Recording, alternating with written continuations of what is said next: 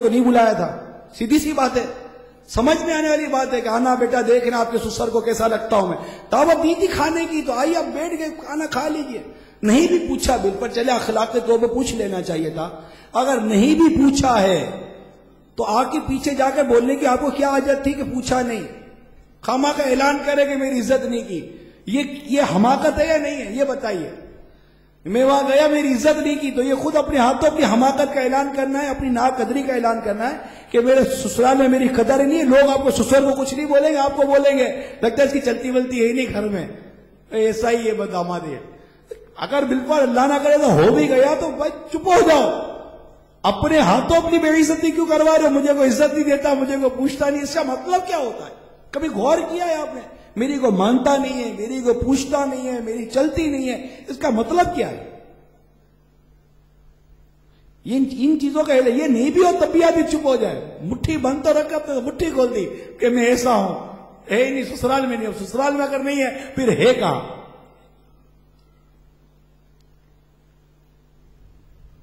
लड़की वालों की तरफ़ से बहुत दिन हुए हैं, कोई दावत नहीं। कोई तरीका है? कंजूस मक्खी चूस अजीब और गरीब लोग हैं। गरीब लोग हैं, गरीब। दावत तक नहीं देते। कितने कितने दिन गुजर गए। देखो उसको, उसके घर की दावतें हो गई, फला के यहाँ हो गई, फला के यहाँ हो गई। फ़ोन पर बात हो रही होगी अपनी बहन से। हाँ तेरे बच्चों की दावत हो गई। पता नहीं मेरे को कैसा ससुराल मिल गया, मेरे बच्चों को मुझे दावत ही नहीं दी। सारी बातें कर रहे हैं। आपको दावत चाहिए। और दावत नहीं मिली, आपने कीबत का दरवाज़ा खोल दिया। और अगर बिल्कुल को खाना ही भिजवा दिया तो अब उस पर भी नहीं, बस। खाने का सिर्फ़ पतीला भिजवा दिया। देग आनी चाहिए थी देग सास का दिल बहुत छोटा है। आम की सिर्फ़ एक ही पेटी भेजी। अभी आम का सीज़न आया हुआ है। आम की सिर्फ़ एक ही पेटी भेजी और आम भी बस ऐसे ही। थे बड़े भाई के लिए घड़ी, बाजी के लिए सूट और अम्मी के लिए चादर की तरकीब थी, मगर हर चीज़ घटिया पकड़ाई, वगैरह वगैरह। अब ये है या नहीं? है सोचती जाए मेरी इस्लामी बहनें, सोचती जाए, बिलखसूस, बरादरी के लोग सोचें। ये मेरी मालूमात में है कि ये इतना बढ़ चुका इतना बढ़ चुका। अब सु, अब सुनिए मैं जो बयान करने के लिए जा रहा हूँ। और हो सके तो सर पर हाथ रखकर सुनिएगे क्या हो गया मैं ये वो कीमत है जिनको शायद चोरी और सीना जोरी कहें। तब भी गलत नहीं क्योंकि अव्वल तो जिन चीज़ों के गिले शिकवे हो रहे हैं इनके अंदर अक्सर रिश्वत की भयानक आफत भी शामिल है। यानी मसन ये मुतालबात करना कि लड़के ने भाई और वालिदैन को, लड़की वाले ये ये चीज़ें देंगे तो ही हम रिश्ता करेंगे। तो ये रिश्वत हुई। लड़की वाले अगर ताहिफ नहीं देते तो लड़की वाला फरीक को ताने देता है। लिहाजा अपनी लड़की को ससुराल वालों के शर से बचाने के लिए आम की पेटियाँ, खाने के पतीले वगैरह पेश किए जाते हैं।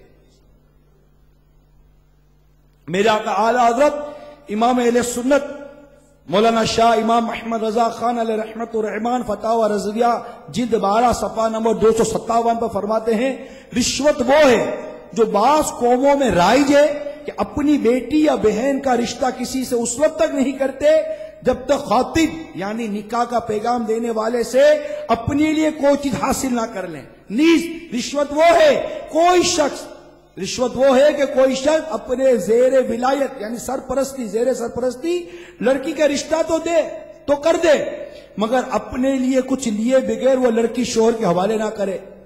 याद रखिए, रिश्वत हराम और जहन्नम में ले जाने वाला काम है, बड़ी मशहूर रिवायत है। और राशि वल मुर्तशी किला फिन्नार। यानी रिश्वत देने वाला, रिश्वत देने वाला दोनों जहन्नम में अब इस्लामी बहनें गौर कर लें। सब तवज्जो करें। इन्हें चंद बातें यहाँ बयान की हैं, जो शादी ब्याह के मौके पर, मंगनी के मौके पर, तलाक के मौके पर, जो हमारे अमूमन इस तरह की कीमतें की जाती हैं। और ये लगे हाथों अर्ज़ करता, चलो ये इतना बढ़ चुका है, इतना बढ़ चुका है। अब चूँकि मदनी चैनल के ज़रिए, अल्हम्दुलिल्लाह, मेरा हुसन जन है कि लाखों, लाख लाखों, लाख लोगों तक पैगाम पहुँच रहा है दावत इस्लामी का।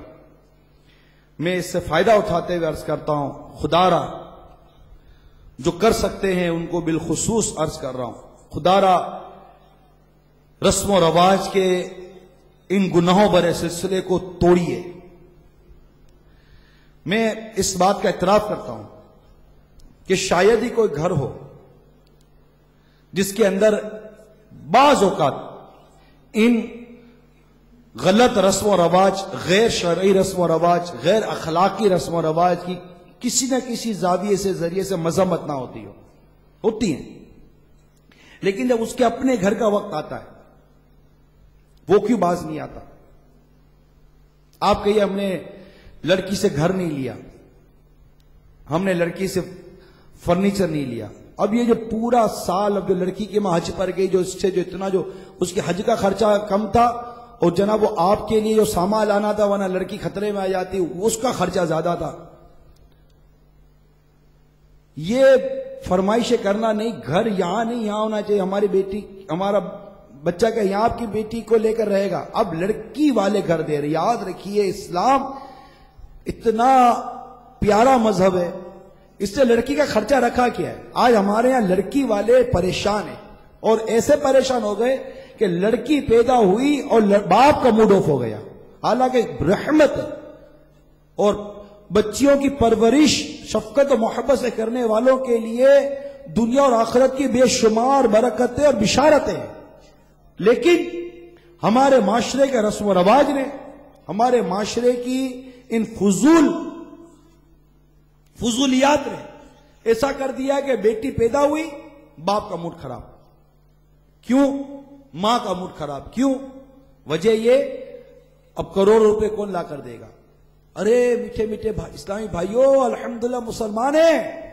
हम जिस दीन और जिस इस्लाम के मानने वाले हैं ये इतना हसीने से लड़की के ऊपर कुछ रखा ही नहीं है। जी हाँ, बताइए महर किसके ऊपर है? बताइए महर किसके ऊपर है? नान नफका किसके ऊपर है? घर कौन देगा? रोटी कौन देगा?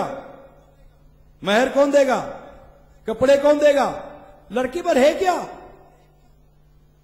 कुछ भी तो नहीं है।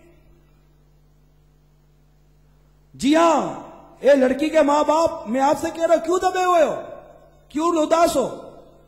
आप कहेंगे, रस्म रवाज तो मैं यही अर्ज़ करने जा रहा हूँ कि रस्म रवाज ही की तरफ़ मैं तवज्जो दिला रहा हूँ कि ऐसे रस्म रवाज जिसने बच्चियों को घरों में बिठा दिया। अब नहीं है बेचारे माँ बाप के पास क्या करें? गैर शादीशुदा लड़कियाँ अपनी जवानी की उम्र पार कर गई। है ही नहीं। घर महँगे। छोटे मोटे घर, अगर बिल पर लड़की वाले दे भी रहे मगर याद रखिए जो अमीर सुन्नत ने वजात करके दे दी जो रिश्वत है वो रिश्वत है। आपका ये तकाजे करना ये मांगना ये समझ में नहीं आता। ना जाने जमीर किधर चला गया हमारी वो हम, हमीयत कहाँ चली गई? समझ नहीं आती क्या हो गया हमारे माशर। करोड़ दो करोड़। बाज घरों में तो करोड़ों में बातें होती है करोड़ों में बातें होती है। क्लिफ्टन में फला जगह पर फला ऐसा मकान चाहिए। लिफ्ट भी लगी हुई हो स्टैंड बाय जनरेटर भी हो ऑपरेटिंग सिस्टम भी हो, कार पार्किंग भी हो, और लड़के को चले सोलह सौ सीसी नहीं तो कमर का हज़ार सीसी तो कार दे ही दीजिए। चले अब ज़ीरो मीटर नहीं देते तो रिकंडीशन ही कोई अच्छी वाली कार इंपोर्टेड लाकर दे दीजिए। कुछ तो दीजिए, कंगले हैं आप, कंजूस हैं, क्या हैं? अब ये सारी रस्म रवाज, फिर दावतों में जाइए तो वहाँ अल्लाह, मान वाला फिर डिशे फिर डिशो अच्छा दावतों में जाओ तो वहाँ भी कीमत। पहले बेटे की शादी थी, देखो तो। ऐसा नहीं चार डिशे ज़्यादा कर दे। ऐसा नहीं थी दावा ज़्यादा दे दे। देखो ऐसा खाना कर, देखो ऐसा खाना कर। यह ये बयान ही मेरा अलग है। जो दावतों में कीमतें होती हैं। लेकिन मैं ये अर्थ कर रहा हूँ कि ये हमारे रस्म रवाज है।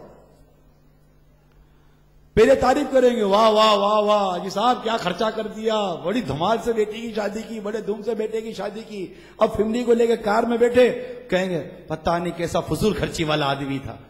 इतने पैसे को उड़ाता है? अरे आपको ये मुनाफिकत करते हुए डर नहीं लग रहा? मुनाफिकत भी कर रहे हैं कीमत भी कर रहे हैं। वहाँ की पीठ थपा थपा कर हौसला अफजाई कर दी। किसने जितना ये उड़ाया, पैसा बर्बाद किया अपनी बेटी अपने बेटे की शादी के ऊपर, वहाँ पीठ थपा करे सेठ साहब को राज़ी कर रहे हैं। सेठ साहब को दो, पाँच, दस हज़ार रुपए की आपको नोटे दे देंगे। और गाड़ी में बैठकर बीवी बच्चों के साथ बैठकर अब आप कीमत कर रहे हैं उसकी। उसकी बुराई बयान करें आपको शर्म नहीं आती? एहसास नहीं होता कि मैं ऐसा गंदा आदमी हूँ, ऐसा गंदा आदमी हूँ। छी! छी छी। ऐसा गंदा आदमी को उधर बैठकर उसके मुँह पर तारीफ़ कर रहा था? और गाड़ी में बैठकर मैं अब उसकी बुराया कर रहा बी बच्चों के साथ बैठकर, और आपके बच्चों के अम्मी भी मुँह खोल खोल के बातें खोल खोल कर, अब वो औरतों में जिनकी बुराया देखकर आई है, उसको